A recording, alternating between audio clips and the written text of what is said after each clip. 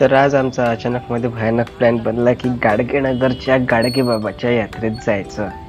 तर आम्ही सगळे निघालो. मी होतो प्रज्वल होता कृष्णा होता आणि हितेश होता. म्हणजे हे सगळे माझे मित्र. आम्ही निघालो गाडगे बाबाच्या यात्रेत जायसाठी. मग समोर रस्त्याने लागलो तर हे मी आम्ही घरून निघालो आणि हितेश आणि हे शेगाव नाक्यावर होते. मग पोहोचलो आम्ही गाडगेनगरमध्ये. गाडगेनगरमध्ये पोहोचल्यावर आम्ही पार्किंगमध्ये गाड्या लावल्या आमच्या. पार्किंग म्हणजे तिथे सिमेंटचा रस्ता झाला तिथे गाड्या लावल्या आणि आतमध्ये मंदिरात गेलो मंदिरात आम्ही दर्शन घेतलं.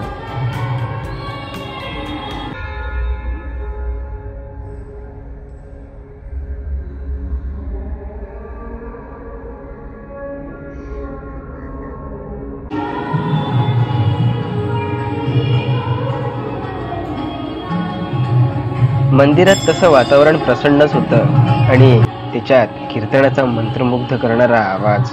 तर काय सांगा? गाडगे महाराजांच्या मंदिरातून दर्शन घेऊन झालं की आम्ही आलो समोरच यात्रेमध्ये. यात्रेमध्ये म्हणजे घरूनच विचार करून निघालो होतो की निदान आकाश पाळण्यामध्ये आणि ड्रॅगनमध्ये तरी बसव बसूनच येऊ आपण. हितेश म्हणाला आधी आपण पूर्ण यात्रेत काय काय आहे ते बघूया आणि त्यानंतर मग आपल्या जिथे ज्यात बसायचं आहे त्यात जाऊन बसूया. तर मग त्याचं ऐकलं आणि आम्ही आधी पूर्ण यात्रा फिरून आलो. कुठे काय आहे ते बघितलं. आकाश पाळण्याजवळ आलो तर कृष्ण म्हणे मी नाही बसत मला भीती वाटते. तर मग मी हितेश आणि प्रज्वल आम्ही तिघ जणच बसलो आकाश पाळण्यामध्ये. पाळण्याच्या आतमध्ये बसल्यावर प्रज्वल म्हणे मी पहिल्यांदा बसलोय म्हणे आकाश पाळण्यात. मला बघ भीती वाटून राहिली. मी म्हटलं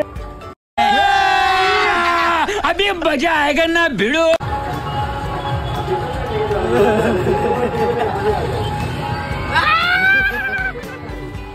हितेश तर चिलच होता आणि काही वेळानंतर प्रज्वल पण नॉर्मल झाला.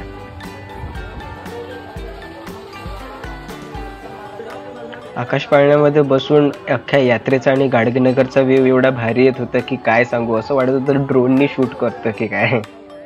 आणि भित्रा कृष्णा आम्हाला खालून बघत होता तिथून निघाल्यावर आम्ही गेलो ड्रॅगनमध्ये बसायसाठी. पण तिथे झाले U P I payment fail आणि कोणाकडे कॅश पण नसल्यामुळे आम्हाला तिथून निघावं लागलं. मग थोडा फेरफटका मारून आम्ही निघालो घराच्या रस्त्याने. तर असा होता आजचा शॉर्ट ब्लॉग जो होता गाडगेबाबा यात्रेचा.